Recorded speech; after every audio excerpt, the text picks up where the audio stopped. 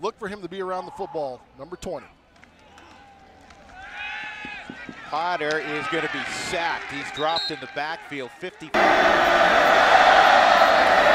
Watson, pressure coming, being dragged down, throws a just a. So Jalen Rogers cannot give up too much cushion.